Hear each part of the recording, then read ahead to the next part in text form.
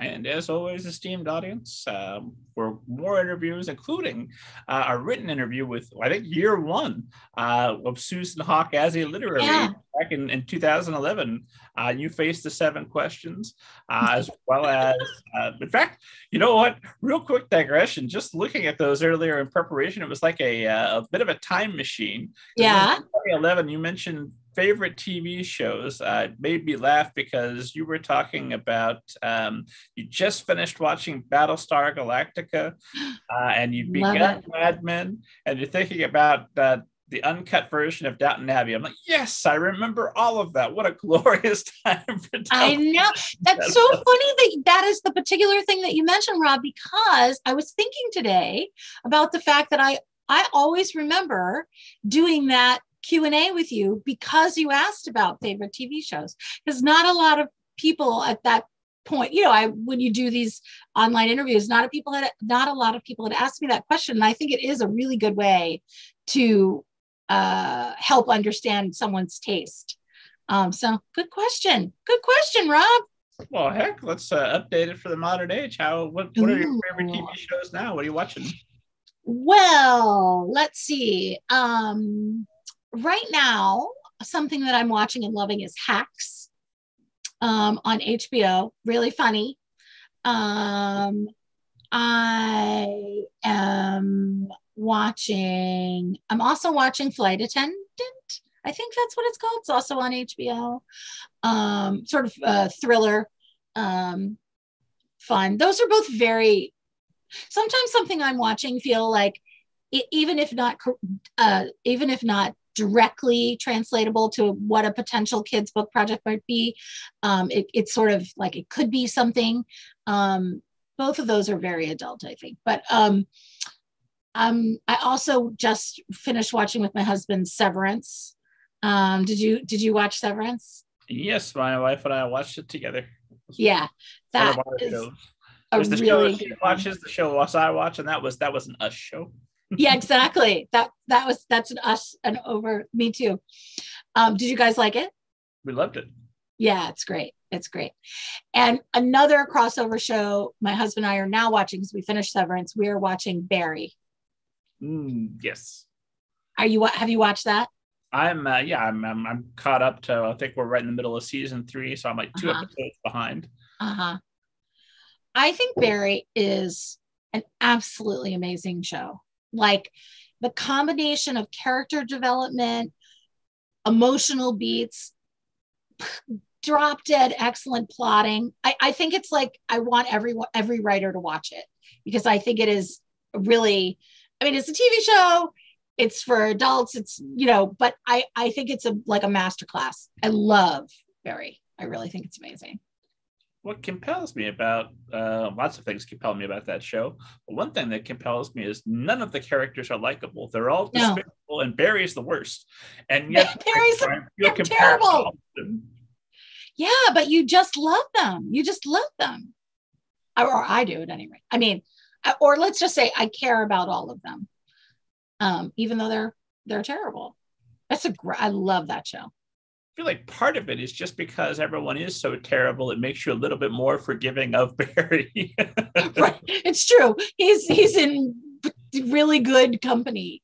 Um, yeah, that's a great, that's a great show. Um, yeah. What else? What else are you watching that you're loving? Ah, well, as of this moment, I'm on season two of The Handmaid's Tale. I uh, oh. watched the first season forever ago, and I had read the book, and I thought, oh, okay, that's a wonderful version of the book, and they're going to mm-hmm. keep going, and that's great. But I know that this is just going to get darker and grimmer, so I'm out. And then the as we're recording this, this, this will be old news by the time esteemed audience hears this. But there was that recent leak that uh, the the Supreme Court's going to do away with Roe v. Wade. I'm like, okay, well, never mind. We're going to live in Gilead. I better yeah. watch. Take notes this time. Let me find out what our future is. Yeah, yeah, yeah yeah that that's interesting that you say that about it getting so dark. I read i read handmaid's tale a long time ago and then and then reread it shortly before uh, the tv show happened. I didn't know um, that the tv show was happening. I just i don't know. I was like oh i want to read this book again. And um, so the show is pretty fresh in my mind when i watched the first season. I think it's an amazing show. And I watched the second season and I think I didn't do, I can't, I stopped watching. I don't know if I stopped watching it after second or third. I can't remember, but I did feel like I just, uh, it just got too dark for me. I got, it just got too dark, but that's an amazing, it's so interesting to me because they really take the book and go much farther um, because the book is you know the, the show is just much bigger in terms of story and characters than the book is. It's really interesting to see how they built on on what was there. That was fascinating Be curious to, i mean like i say i'm uh, three as we record this i'm three episodes away from the end of season two but I'm, i know bradley whitford's coming so i'm going to stick with it. Um, but um, what my initial um, uh, hesitance to watch this. I know it's a Gilligan's Island type of situation where if Offred ever, June Offred ever gets free, the show's over. So she's always going to be there in some capacity, which yeah. means they will have to get darker and meaner as the show escalates, just to escalate the which, yeah, which you hesitance. Yeah, you but now that uh, the world has gotten darker and scarier, I'm like, oh, what the heck? Let's right, exactly. Why not? Yeah, yeah, yeah, yeah. Right. No, there's a point. I can't remember where it is, but it was at the end. The last one I watched was at the very last episode of whatever that season was that I watched, and June Offred made the decision to stay. It was like there were there she had options and she took the option to stay and i was like but what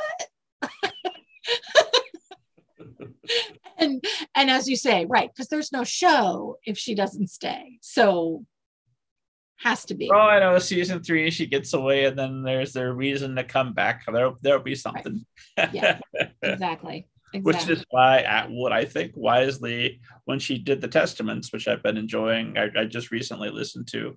Um, it's about other characters who aren't Offred, so it's not a sequel. Yeah, I didn't. I haven't read that. I'm curious about that. Did you enjoy it? You listened to it?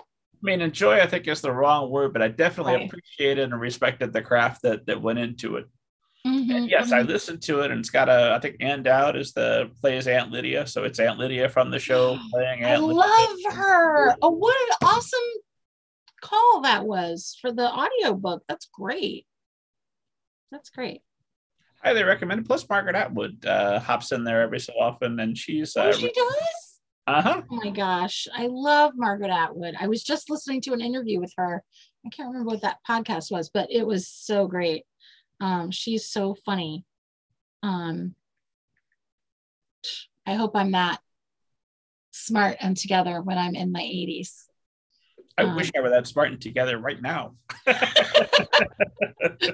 yeah, I agree. Actually, I agree with that completely. Um, so yeah. Huh. Well, it's so fun talking with you. It was. We will have to do this again sometime, if not on the show, but by God, in person. Now I would love to do back that. Stated here at uh, Casa de Kent, I'm getting back out to conferences, so hopefully I'll see you and I'll buy you. Yeah, yeah, yeah, yeah. Me too. I just got a conference invitation um, this week. Um, somebody asking, you know, to come if I would come be a speaker, and I was like, oh yay! I love. Com-. I mean you can't i can't do too many you know you could get worn down with doing too many of them. So um but i love being in person with people and talking about books. Whew, it's the best. Not, um, i always feel like going to a conference as a literary agent as opposed to an author is like being the only human in a zombie movie. Is, is that worrisome with all those authors around well, i'll tell you this. It is a boost to the ego let's just say. Um, whenever I come back from my conference, my husband is always like, oh, conference Susan is home. She's a big deal, guys. you have a, a dangerously inflated uh, idea. Yeah, it's like, um, if you'd like to know my opinion, I'd be happy to share it with you. because my opinion matters a lot. Um, yeah, no, it's it's good to go. I mean, I I genuinely, I mean, I I like talking with people and being with people. That's really fun. But I also feel like, you know, I I learn there's amazing writers there talking about craft and i learned from that too you know um, oh l'oreal sanderson does this i'll suggest that to my clients you know i mean really it's it's an opportunity i think for me too not just for the writers so